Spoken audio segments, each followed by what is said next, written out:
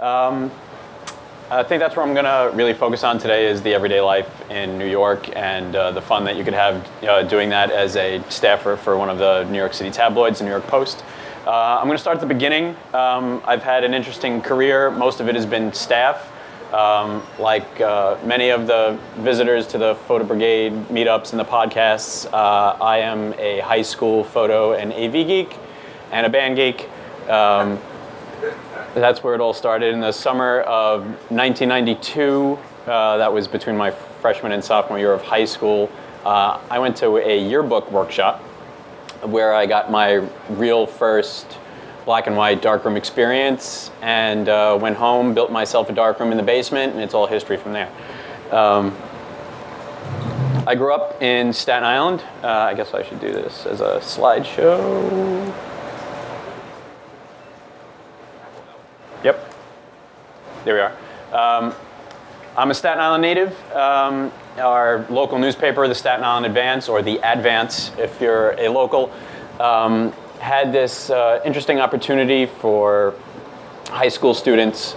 Um, there was a program called Teenage. It was a weekly uh, section in the Sunday newspaper, and it was completely done from start to finish uh, pitching stories, uh, uh, reporting, photography, layout, and design, all done by high school students. Uh, it was something you had to apply into, um, which I didn't know. Uh, I walked into the Staten Island Advance's newsroom cold with some really awful black and white prints of police horses and rollerbladers in Washington Square Park and said, I'm interested in joining this section. They said, oh, we take applications once a year before the summer and uh, you apply and I said, uh, you know, there's a little writing, you know, excerpt that you have to submit. I'm like, wait, wait, wait, wait a second, writing? Um, I said, you know, I'm here to, to do photography. I showed my really awful black and white prints, and they said, great, here's your first assignment. Um, as far as I know, I was the first person uh, student to inquire about doing photography for the section, because up until that point, uh, the photos were taken by their staffers, would have to go out on assignment with a teenage reporter and, and shoot their art. Um, so one of those first assignments, um, 20 years ago, um, I had to go to the Tower Records on West 4th Street in Broadway, which no longer exists. Um, and there was a record, you know, uh, event with Morrissey of the Smiths, and uh, I had to find a Staten Islander, of course, in the crowd, because uh, being from the local paper, everything is really hyper local focused. Um, so I'm going down like the row of people queued up outside, which went around the block, finding a Staten Islander and here she is, uh, Tracy Delaney. Uh, and then I had to wait for her to get up to the front of the line and elbow my way into like the crowds that were inside. And I think I elbowed a Rolling Stone photographer out of the way. Sorry, Rolling Stone. Uh, to get my picture of this Staten Islander with Morrissey. Um, after uh, my teenage uh, experience, it really solidified that I wanted to try to do uh, photography and especially newspaper photography for a living.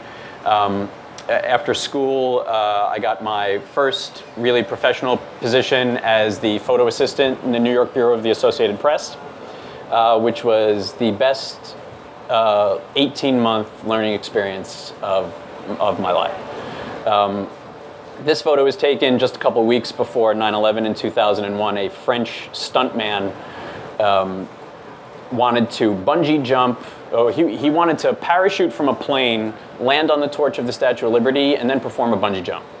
Uh, things went horribly wrong. Uh, and he got caught up on the torch of the Statue of Liberty. And uh, working as a desk assistant, I really wasn't responsible for going out and shooting assignments. But given my you know, Staten Island proximity to the Statue of Liberty, um, I got a phone call saying there's this breaking news going on. So I ran down to the ferry, hopped on the boat, and uh, made this picture, which made The Wire and uh, newspapers around the country.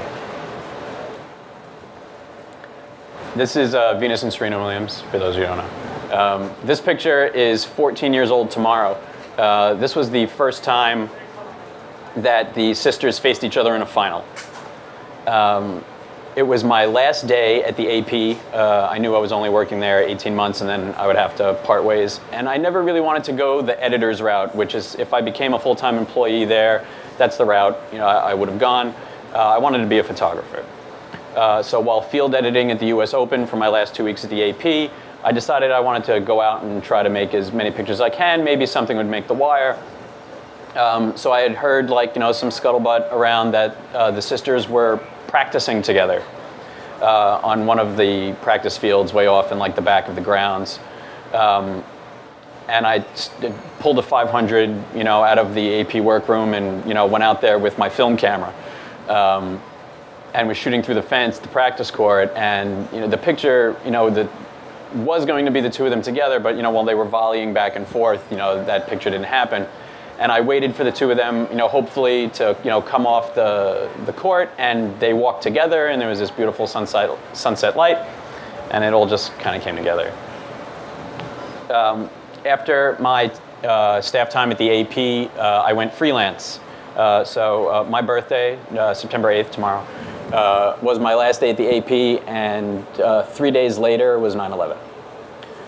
So there was plenty of work to go around for the freelancers. And the few images that I had done while I was on the desk proved to them that I was capable of handling a news assignment. Um, so I immediately got thrown into the freelance, you know, uh, pool of people. Um, there was a lot of Staten Island work to go around. Uh, so I became a freelancer working for the AP and uh, some other newspapers. And then I transitioned to my first uh, staff job uh, at, back at the Staten Island Advance. Um, this was the paper that I grew up with and had, you know, admired the photographer's work for years. I had, you know, clips that I had saved of pictures that inspired me. Uh, so this was my, one of my first assignments back at the Staten Island Advance. Uh, they brought me on as a freelancer first uh, to try me out. And uh, it was a primary night and I got sent to what would have been the loser in the Republican primary. They sent one of their staffers, you know, to uh, Bob Straniere's office.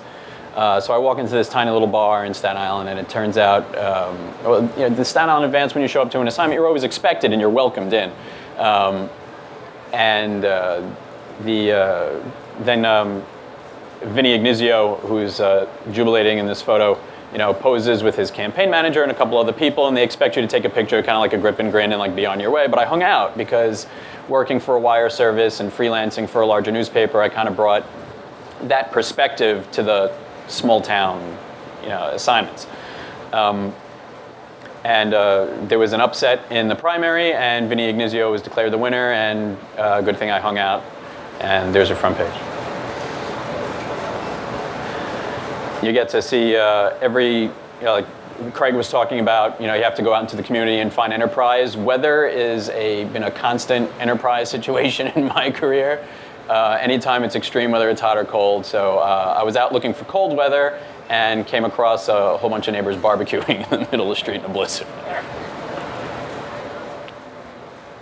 You're also tasked at a smaller newspaper to do uh, what you would normally think is you know some mundane things like we're going to do a spread of Halloween decorations. Uh, how do you make that as interesting as possible? So in my travels, when I would go from assignment to assignment, I would keep like a list of houses that I thought like were interesting, and when I had the time, I would go back and photograph them. Uh, the one on the uh, the larger photo on the bottom of the page there is mine. Um, so this this house had these bed sheets hanging from their tree in front of their house to make them look like ghosts. Um, but just kind of hanging there in static, it really didn't look like anything. So I took the time and I set up my tripod outside of their house and waited for like a little bit of like a breeze to come by to try to blur them in the background there to give them a ghoulish appearance and make it a little bit more interesting. There's a tight shot of the photo. It wasn't that windy of a night. It could have been better.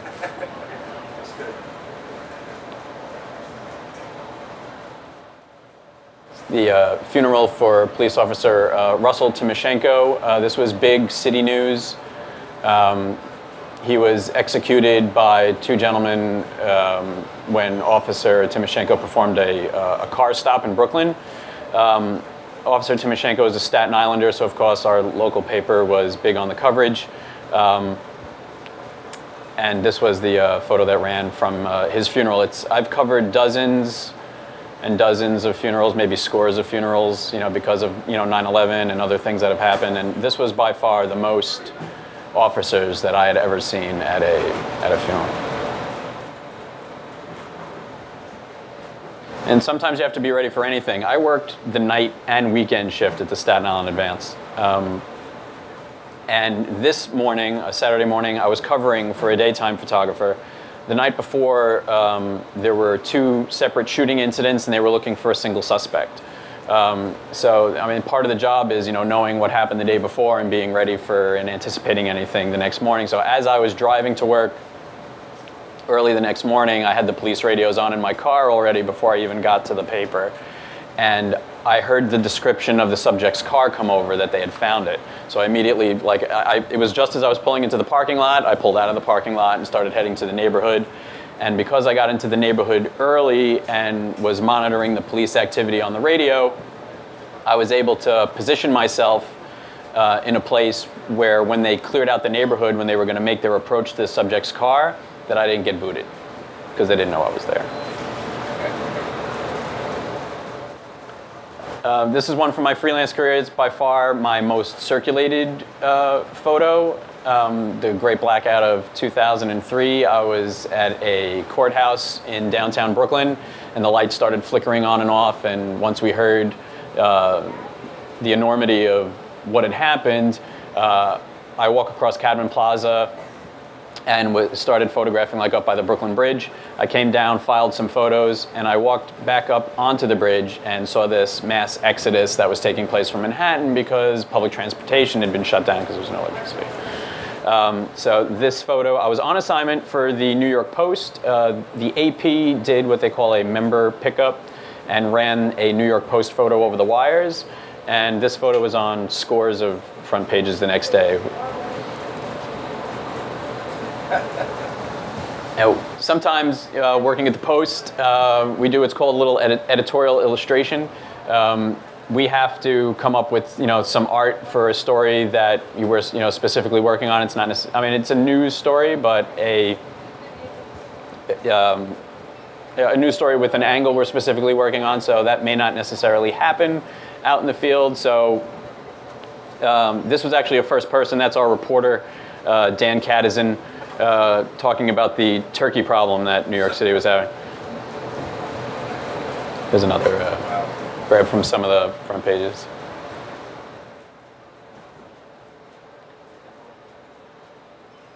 So I thought I would take you through some of the, you know, the stories um, that happened behind the photographs, because that's some of the stuff that I find most interesting. Uh, with the Pope coming into town uh, in another two weeks, this is from the last papal visit um, when Pope Benedict came, uh, he did a mass uh, at St. Patrick's Cathedral, which was only for members of the clergy. Uh, and it's like he was a rock star even for you know the other members of the clergy. Everyone had their cameras out, and it was pretty incredible.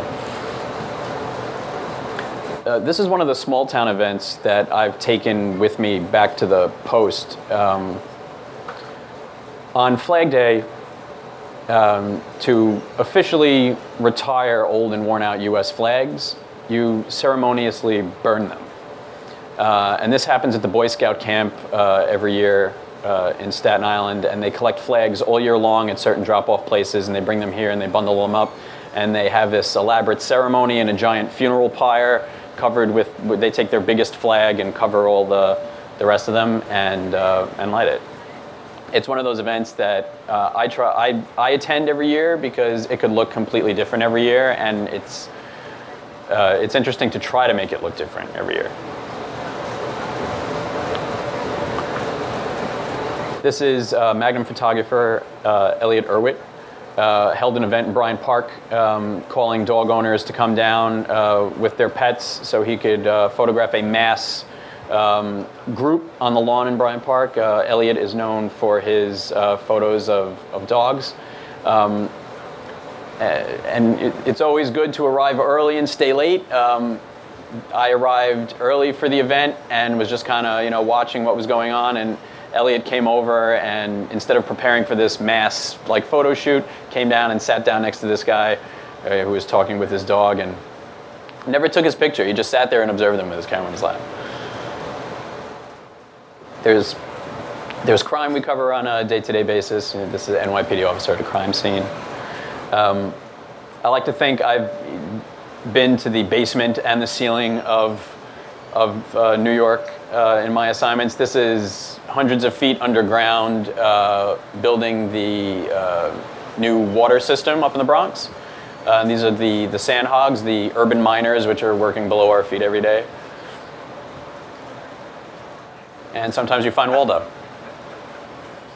This is the uh, San Gennaro uh, Festival on Mulberry Street.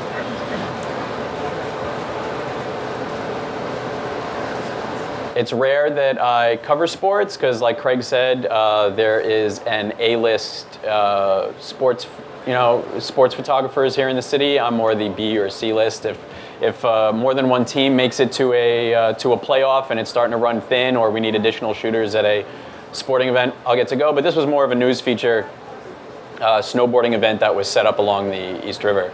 And uh, there wasn't any media access uh, up in this position, but from photographing in the media spot down below where they would come to the end of this ramp and perform their tricks, you really couldn't get the perspective of where it was. Uh, I mean, it could have been any half pipe anywhere.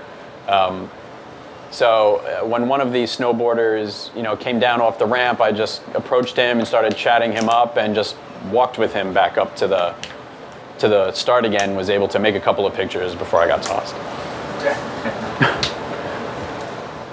um, one of the things I enjoy the most is photos that are like a byproduct of an assignment you you were sent on. Um, so this was a enterprise weather photo uh, that came out of a non-incident car accident by the Holland Tunnel.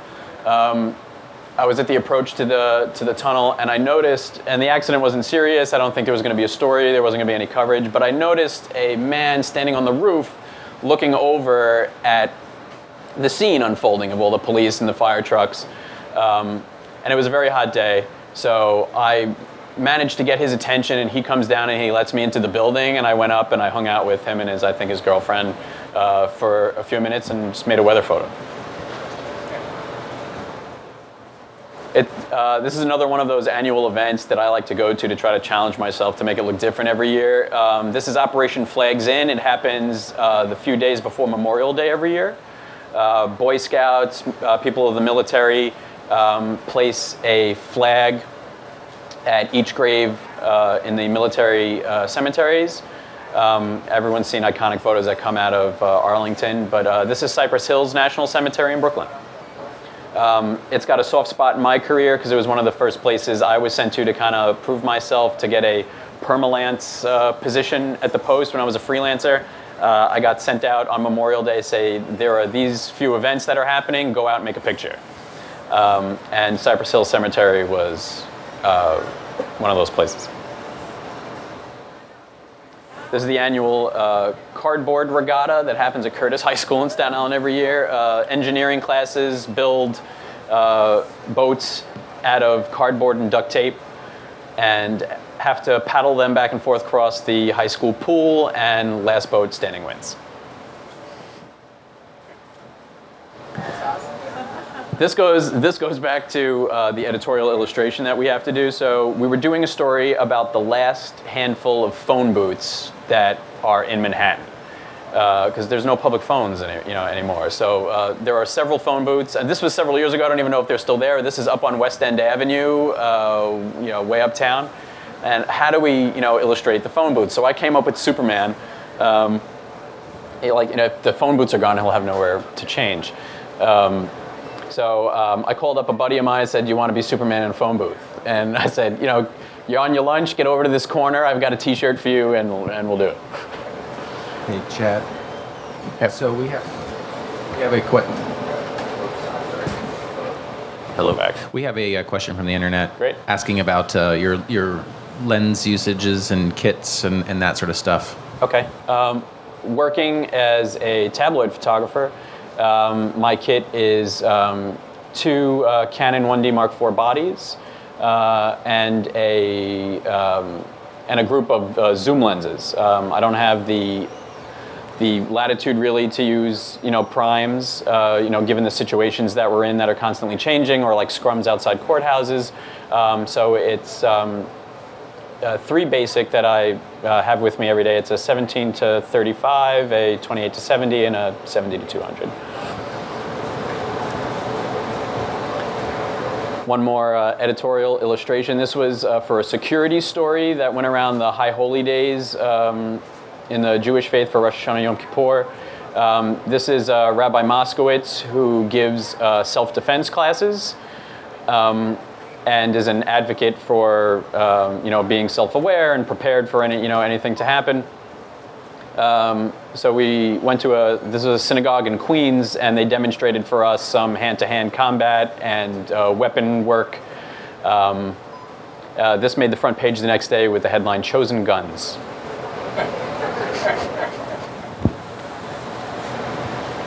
There's some more weather. It's constant, constantly weather. Coney Island. These were uh, dumpsters uh, in Gowanus, Brooklyn, that were converted into uh, pools that you could pay uh, per day to go out and swim if you wanted to.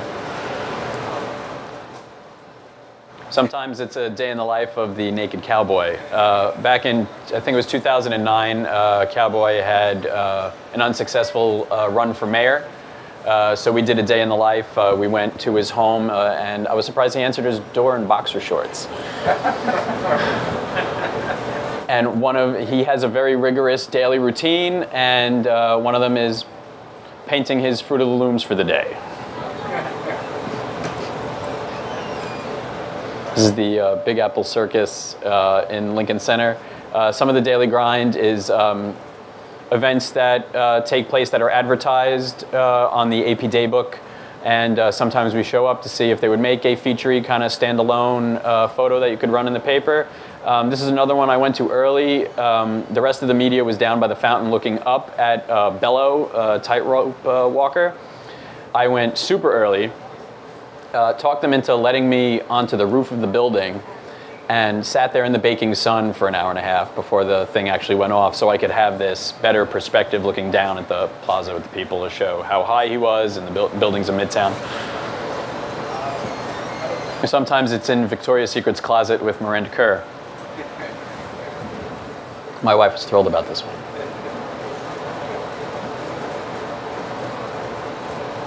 we make difficult decisions um, covering, you know, even like the simplest of news conferences.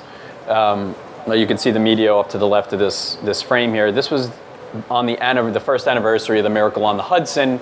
Um, they brought as many passengers from the plane uh, back to speak and meet with Sully and there was you know, several passengers spoke and if we stood you know in front of the microphones you would have you know a better you know picture of you know the, the people speaking and Sully speaking for me it was about his interaction you know with the people and you know there was a whole like private meet and greet which we weren't allowed uh, t- to be at. So I wanted to wait for him to interact with you know all these lives that he had saved. So I forewent the you know standard front and center position and I went way off to the side and it was either going to work or it wasn't. If Sully never turned around, there wouldn't be a picture. But I'm like, there's no way he's going to be able to stand in front of all these people with his back to them the entire time and not address them. And sure enough, I was right and I think it worked out in my favor. It's another one of those annual, um, you know, daily routine kind of assignments. This is the annual um, uh, audition for the American Ballet Theater. And having worked for a wire service and a small newspaper and now a large newspaper, um, I feel like I have to balance sometimes the way I would like to photograph assignments and the way I have to photograph assignments. Because uh, you know each you know, publication has its, you know, formula for like, you know, the way it displays photographs and, you know, the, the way that they know, want things uh, shot. Uh, so this was um, when uh, the Sandhogs uh, broke through and completed tunneling for the seven line extension. So this is deep under Port Authority bus terminal. And uh, I love this one because it, it felt like a throwback to me of like, you know, the, all the, you know, the guys who were working on the job and that, you know, victorious um, end to it. But then there were moments like this where I, I think I would, you know, would approach it more this way, but the previous photo was the one that wound up getting published.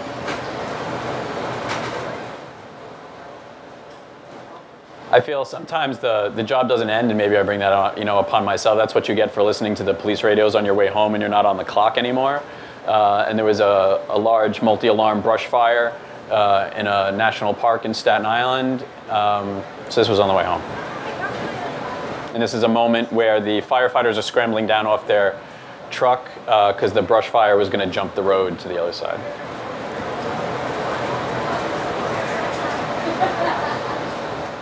Some fireworks over the Staten Island Ferry.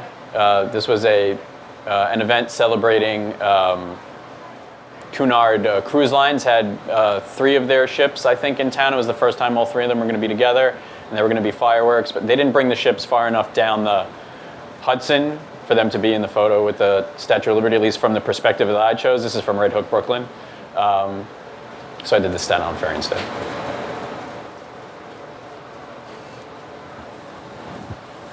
Some more you know daily uh, crime and grime that we uh, run into. This was a shoplifter being apprehended by a security guard from the Syms department store, which is just a, a block or two away.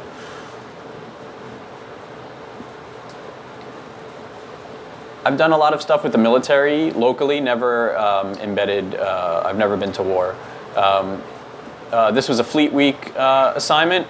Uh, this uh, sailor was coming off of uh, one of the ships and uh, being flown by helicopter uh, back to Manhattan to see his family. his 11 years in the Navy, this was his first helicopter ride.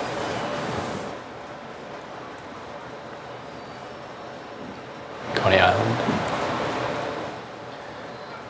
Uh, here's this, these next two frames. This is another example of like the byproducts, how one assignment turns into another. Um, this was for the 10th anniversary of the 9/11 attacks. I got to travel to meet up with um, different people who were in some of the iconic images to come out of that day. This is George Slay, uh, who had um, what was called in the media the longest walk to freedom. He worked on one of the highest levels of one of the towers and then uh, was photographed covered in dust uh, when he made it out to Wall Street. Um, he moved back to a suburb of Cleveland, Ohio, uh, and I had to photograph him in his new uh, suburban environment. It ran side by side with the iconic photo in a special magazine uh, that we did, but uh, I had never been to Cleveland before. Uh, so when I checked into the hotel, I asked the concierge, you know, what's going on, you know, in town, and she just happened to mention to me that they were filming um, an Avengers movie around the corner. And a lot of the things they had in the street was put out there to meant, uh, and meant to look like New York. So there was a there was an MTA bus, there was a fire truck, and a police car. Um, so I went out and checked it out for a couple of hours. Um, and people were, you know, they were rehearsing, they were running back and forth. Um, and I was just about to give up because I made some pictures, um, you know, to show that they made it look like New York. Maybe I could do it as like a Sunday for Monday kind of feature. But then uh, they were readying everyone for their take. You know, this one they were going to film and do it for real. And someone said, "Fire in the hole." So I stuck around, and there's the picture. um, so uh, people in NYPD, you know, uniforms and pedestrians in this huge explosion. Um, and I call up uh, I call up the editor and I pitch this to them and, uh, and they thought it was great. This was page three in the newspaper the next day back in New York and uh, a lot of the morning shows uh, that do things with the newspapers like held this up and showed it on television.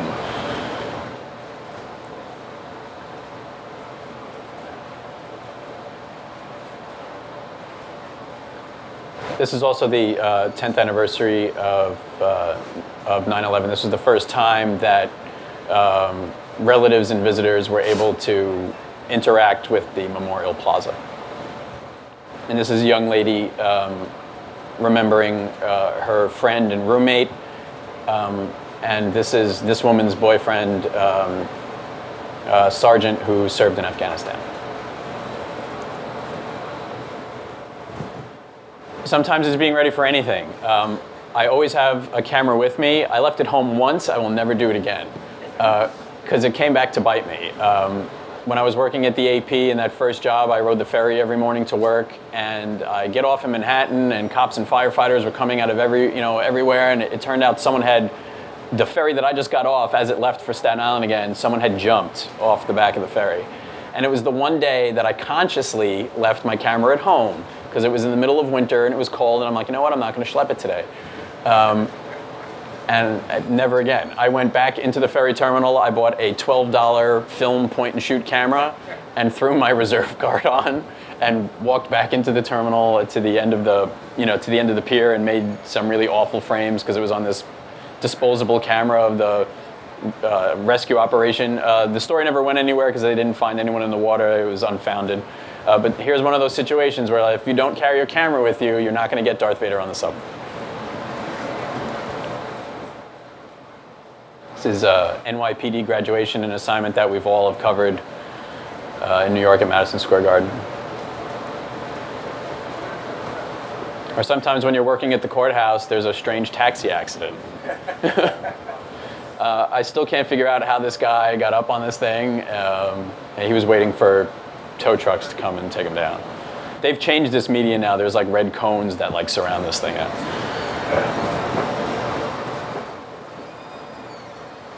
Um, I've been doing some ongoing work at uh, St. Patrick's Cathedral with their um, restoration.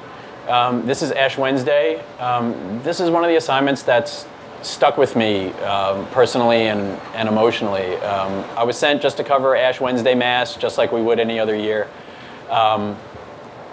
And the, the good folks at St. Pat's were corralling the media to move us to another place where um, Cardinal Dolan, who was just elevated to Cardinal a week before, this was his first, you know, bit in front of the, the New York media after returning from Rome. Uh, so they were going to corral us off to the side, and he was going to come and talk to us. And I didn't go with the corral because the cardinal went off to one other side, and he was giving ashes uh, to celebrants. So I stuck with him instead, and we came around after he was giving ashes. We came around the back of St. Pat's to the Lady Chapel, and he had this interaction with this altar boy. Um, and I made this picture. And then the cardinal went on to talk to the media, and I stayed and I spoke to the altar boy and his mom. And it turns out the altar boy only came to St. Pat's that day because he wanted to see the cardinal for the first time after coming back from Rome. He's an altar boy from Staten Island. Uh, he had just dropped his dad off for treatment at Sloan Kettering, and they came to the cathedral to pray and to see the cardinal. Get my water. Um, and while talking to one of the other clergy at the cathedral, uh, they decided they were going to take him downstairs, give him vestments, and he was going to serve Mass. Um, so there's another photo that ran uh, in the paper the next day where you could see, you know, both faces, um, but this was my favorite of the, of the two. Um, and the relationship continued between uh, the cardinal and the boy's father every several weeks. He would call, and he, they would invite them back to the cathedral. So it's it stuck with me. This is when the the shuttle uh, came to town, it, it looked fake going by.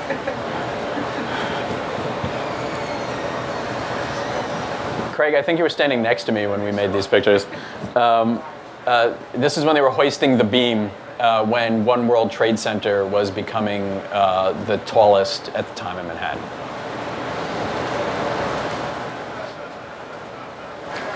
Uh, given the opportunity when we go into like the tall skyscrapers in Manhattan, I'm always looking out the windows because you never know what you're going to find or make a stock image of the neighborhood that you're in. Um, so we were doing a story, I think, about noise pollution at one of like the, the hotels, and I'm like looking over the side, and there was a sunbather that made yet another weather photo for the next day's paper.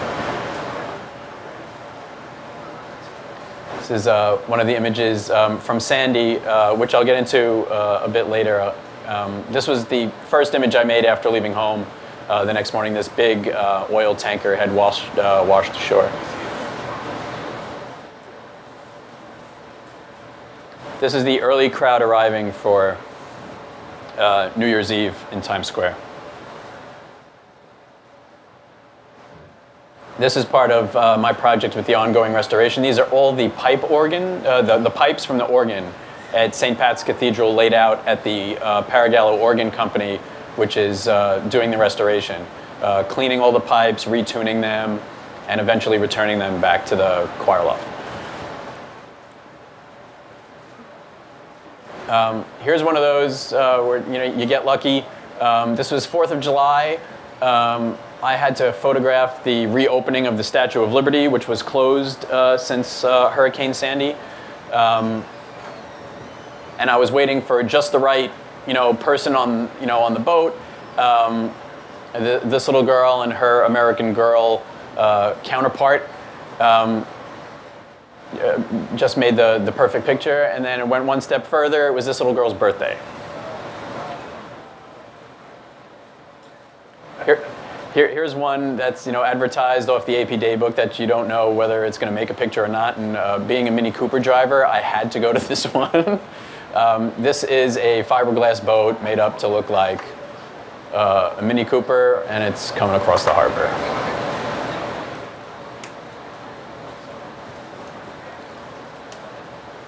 It's the De Blasio family doing their infamous SmackDown dance on election night.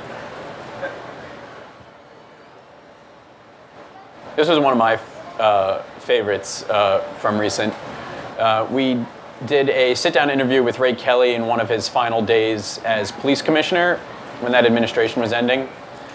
And it's one of those situations where you're given a very short amount of time with the person that's being interviewed, and then they put the lid on it and they like toss you out.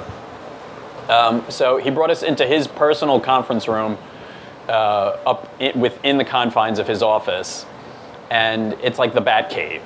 Um, and this digital image was, you know, on the screens behind him. Um, and I made some, you know, pictures while I was like standing next to him, shooting with a, a, wider lens. And our reporter is just off to the right of this frame, sitting next to him. They let me photograph for a few minutes, and then they said, you know, that's it. And they were talking, but I didn't get kicked out of the room. And I had a remote strobe off on a stand, so I left it there and it was dialed down so far that you know even when it went off it was giving off like very you know a little bit of light that it, it, wasn't bothering the commissioner. So i went back to the other end of the conference room table and i was shooting it long lens and finally you know he relaxed after speaking with the reporter for a few minutes and got into this more like relaxed position. And it was my favorite from the shoot. It's like the godfather sitting there at the end of the table Uh, this is from a series that I do on the ferry, which I'm going to show you a little bit later, um, which uh, makes great weather pictures. I thought the harbor was so frozen, it almost looked like you could walk to Manhattan. Uh, it was really cold riding outside on the ferry, but worth it for the picture. And uh, I like to live by if you see something, shoot something. Uh, this wasn't far from my home when I was leaving on my, on my commute and it had snowed so much by this time and this nun was out there shoveling her own her own sidewalk and I couldn't find a place to pull over fast enough because the curbs were filled with snow mounds. So I pull over in somebody else's driveway and I like jump out of the car with the long lens. And I had like a good distance to go back before I got to the nun, so I was making pictures as I went. And by the time I got back up to her, she had finished. Um, so I just had a short conversation with her, and uh, this wound up being front page the next day uh, with the headline, Lord have mercy, uh, like no more snow or something to that effect. Uh, I, don't, I don't get to shoot sports uh, all that often, but I got asked to do a Barclays tournament last year, and this is a golfer hitting out of the rough from in between two trees. We cover the president, as Craig said.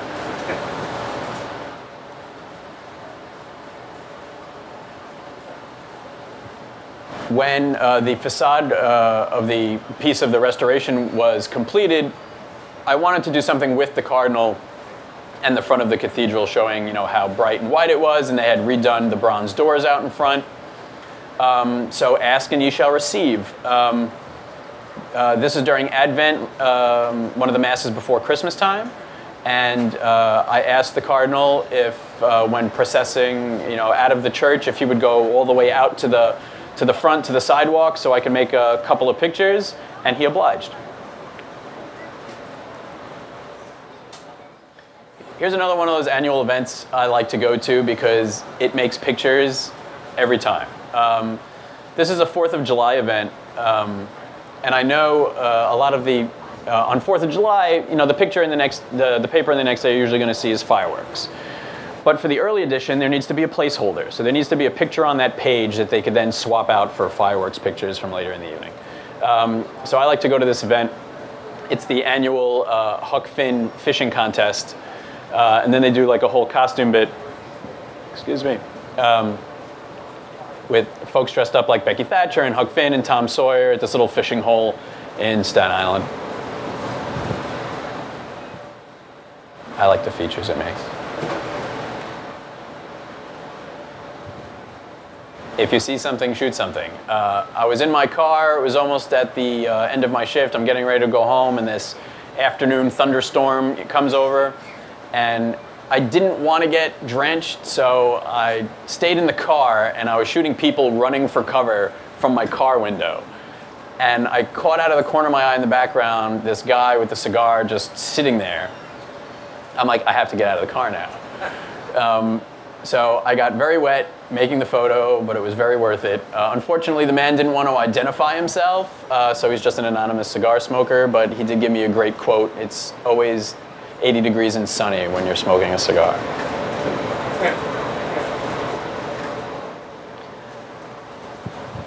I've had like a weather theme inadvertently. Um, this was just the other day, uh, and at 4 o'clock in the afternoon, the photo editors, uh, I guess, didn't have enough page, you know, page lead photos. They needed something to fill space, and so they go out. It's hot outside. Go out and make a weather photo. Um, but it wasn't sunny, and sometimes we really need that bright, harsh sunlight to really convey how hot it is. So this one was difficult to find, but I was lucky enough to find this poor, exhausted soul. Uh, who had loosened his tie and kicked off his shoes and was just taking a break in a plaza in Midtown. Um, and was able to, you know, 45 minutes after I was asked for weather, I was able to get something back to the office to fill the spot in the paper. Um, the next couple are um, a bit of my stuff from Hurricane Sandy. Uh, safe travels, Craig. Thank you for, uh, for staying for my bit. Um, Sandy, the Sandy coverage was difficult uh, for me being a Staten Islander, which was one of the neighborhoods that was hardest hit outside of Breezy Point, Queens. Um, and I worked uh, the Staten Island neighborhoods for 30 straight days um, after the floods. Uh, so this is the next morning uh, after the flood hit. This is Midland Avenue in, in Staten Island. And uh, this gentleman, who unfortunately isn't identified, uh, he got too far out into the water before I was able to get his information. Um, went in looking for his brother.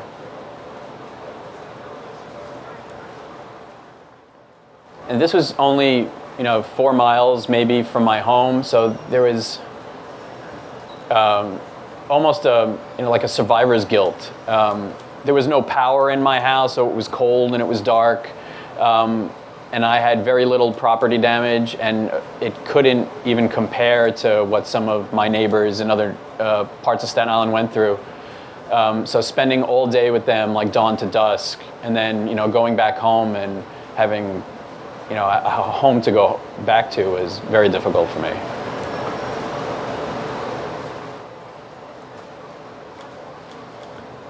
This is uh, the funeral of a police officer uh, who died in his home after uh, saving seven relatives from his basement. He drowned.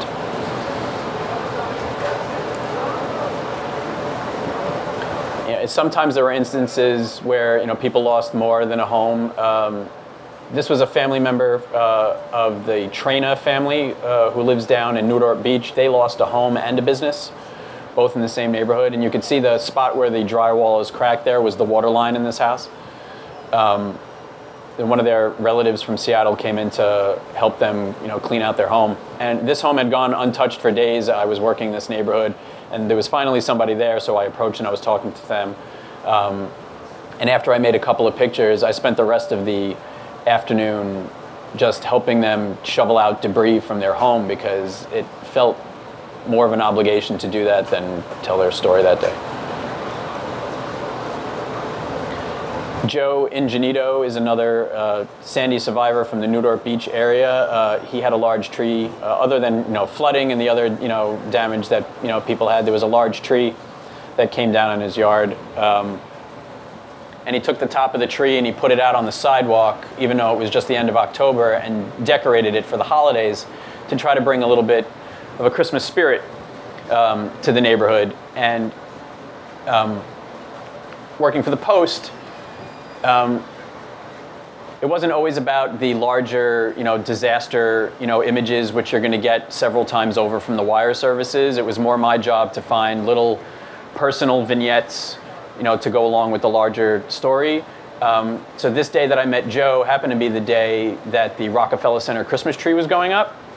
So there was this juxtaposition between how the entire city, you know, was celebrating like it does every year, and this little Charlie Brown Christmas tree that's in this Sandy affected neighborhood. Uh, this picture of President Obama was done, I mean, this is planning.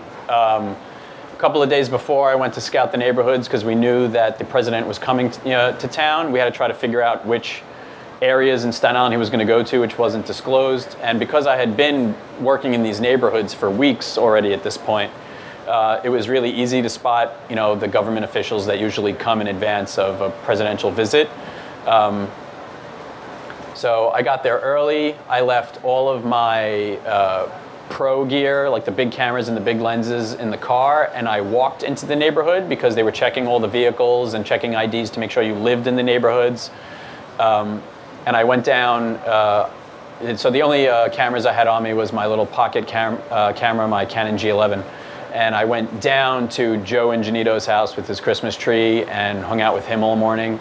And then with the regular residents of the neighborhood who were allowed to go out onto the street to try to have a, a moment with the president. Um, and the president just happened to stop and embrace this family that was standing right in front of me. And I was able to capture this moment. This is the Camarada family of New Dorp Beach. The president actually stood there and spoke to Dominic and his wife for several minutes. It's more than, you know, if you went into the Oval Office and tried to have a minute, you know, with the president, these two folks got more time and probably laid it out more on the line than anybody else could.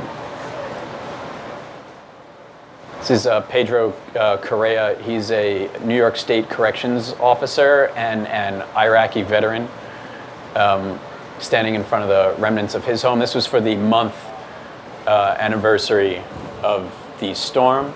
Um, by this point, you know, I was even, you know, worn out from covering, you know, the same like storm coverage uh, every day. So I went to a spot where that I know had been photographed before, um, but I had I hadn't been to, uh, and we just happened to encounter the homeowner, uh, uh Mr. Correa, and he told us the most harrowing story about how he sent his wife and child away and spent his night in his home and wound up floating away on the second story of his house, which wound up in a field uh, several hundred yards away. And uh, he remarked to us that he was more scared uh, that night during the storm than he was serving overseas.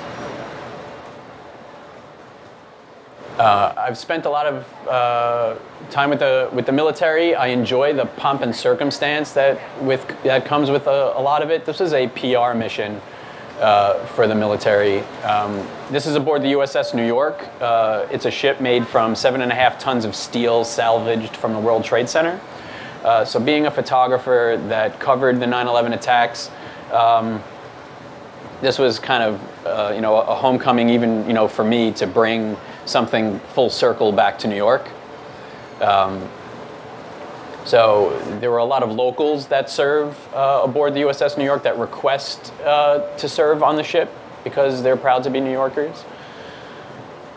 And uh, this was one of those assignments where I traveled without uh, a reporter. At the last minute, there were space constraints, and my office had to decide whether they were going to send a reporter or a photographer because um, they couldn't send both of us. So they sent me because they figured they could always write to the images or the information that I was sending back. So I had to act uh, as both uh, really on this trip, um, pitching stories back to the editors, and um, there was a lot going on on the ship. The Yankees were playing in the World Series, um, so folks would stay up at night to uh, watch the games in the uh, in the mess halls. Uh, it was also Halloween, so people were trick or treating on board. Uh, so I pitched the World Series story, I pitched the Halloween story. There's everybody watching Andy Pettitte. Uh, this is uh, an officer uh, from Long Island uh, who spent his last 343 days in the Navy before he retired from his career. Um, celebrating the fire department, he wrote a different firefighter's name on his hat every day as he served other enlisted officers in the mess hall, which wouldn't normally be his job because he was an officer.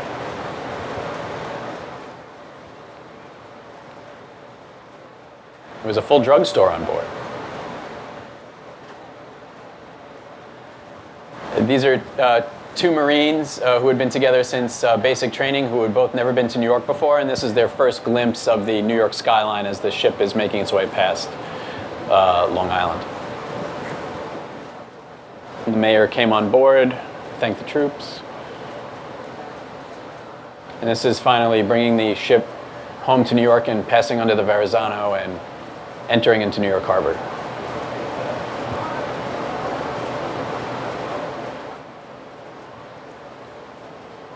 While I was on board, um, I was treated really differently being a civilian um, with like longer hair and a beard, and I felt like I was always getting these canned responses and kind of like the cold shoulder uh, from the men and women serving on board.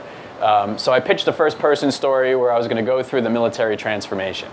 Um, shaved off the beard, and I'm going to get the, the military haircut in the, in the barbershop. And the office then told me that they weren't interested in that, so you know I had shaved off the beard for nothing. And so right before I got the haircut, uh, you know they told me they weren't interested, so I didn't do it. But uh, word travels fast. I've learned on these Navy ships. Uh, so I had members of the service calling me out on not going through with it, that I chickened out. And it went all the way up the ranks to the colonel who was in charge of all the Marines that were on board. And he called me out on it. Well, I'm not letting a Marine Corps colonel call me out on not shaving my head. So I said, let's do it. And um, the Marine, uh, the colonel himself, Colonel Mark Desens, um, shaved my head on board the boat. It was an awful haircut.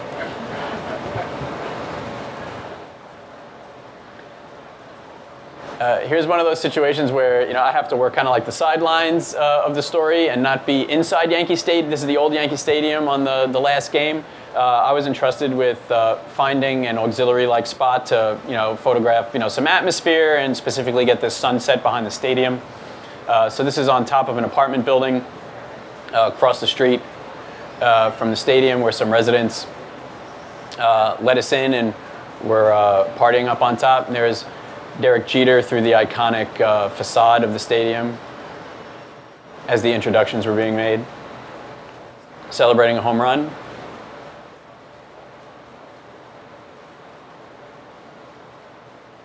There's a gentleman uh, dressed uh, as Babe Ruth and some other folks with Bye Bye Babe. This frame just kind of made itself.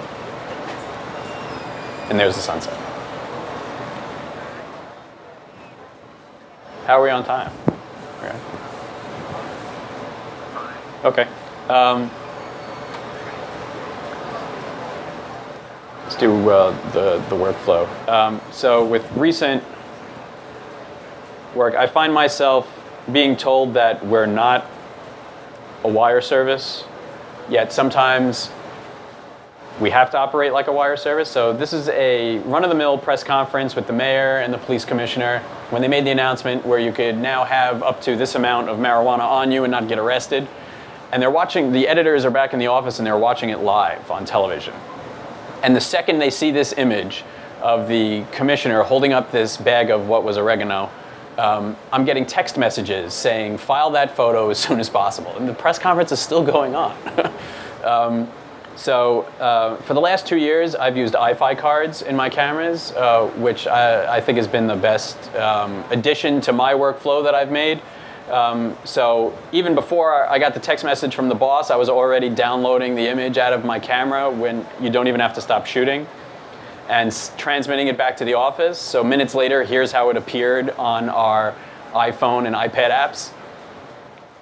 And just to show that the press conference is still going on, here it is on my phone, still at the press conference, and how it appeared in the paper the next day.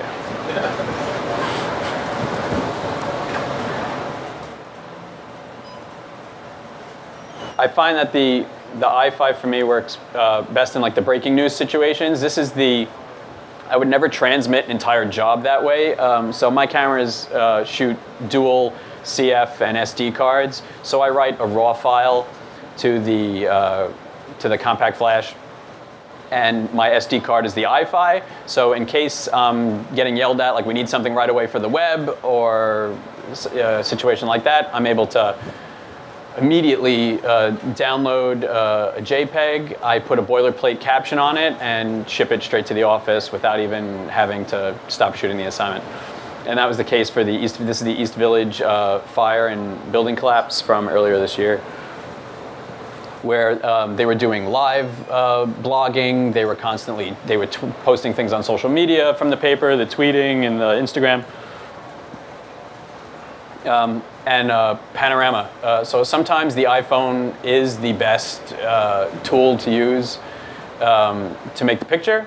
Um, there were a couple of minutes where the sun had broken through and uh, was silhouetted, you know, behind the, the clouds here, and I wanted to show how it was like, you know, you know, bright and sunny on one side, and the build, you know, the buildings in Midtown on the other. So the iPhone panorama just happened to be the best way to accomplish this.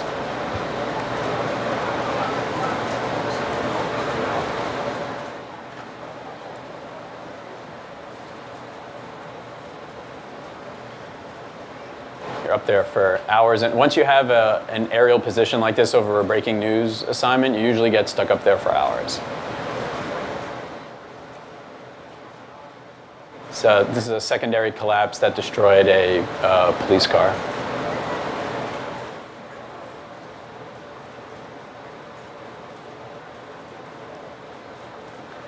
Recently, I found myself sitting on the desk um, a lot uh, for a little over a year, and um, then spots here and there. Uh, I got asked to work as a photo assignment editor, uh, which took me off the street, and I wasn't making pictures every day, and I was getting frustrated. Um, so, being a Staten Islander, riding what uh, Staten Islanders call the boat uh, back and forth every day, uh, I started this Instagram series called The Nautical Commute and I would photograph what would be a mundane, you know, commute to the office every day because I never get tired of it. I'm constantly amazed at the uh, scenery. Uh, I remember even from my first uh, job at the AP when I was commuting to Midtown every day, how like I would sit outside and I would just feel so lucky that, you know, I'm working as a photographer or an, or an editor in, in New York. It always amazes me. Are there any questions out there?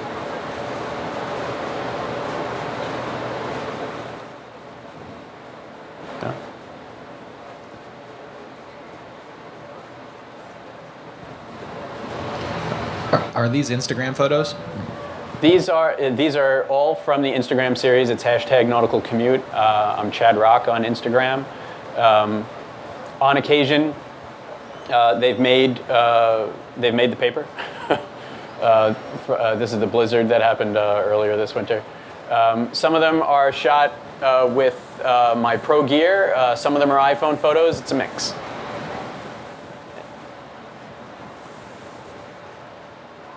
And then uh, all posted to Instagram.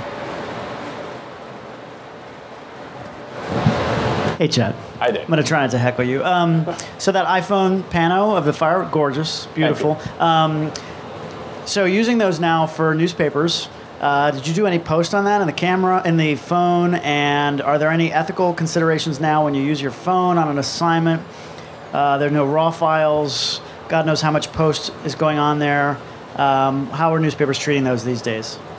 Um, there is uh, there was very little post uh, on that photo. It's just an HDR um, filter that was put on it in post, and uh, and nothing else. Uh, I'm always uh, clear in uh, my captioning, saying that you know it's an HDR photo, which is a high dynamic range, which even you know in these days I think there's more you know latitude because um, there's a lot of uh, post-production, you know, even going into like some of the wire, you know, photographs which are heavily vignetted and, you know, and you know really darkened down to be moody.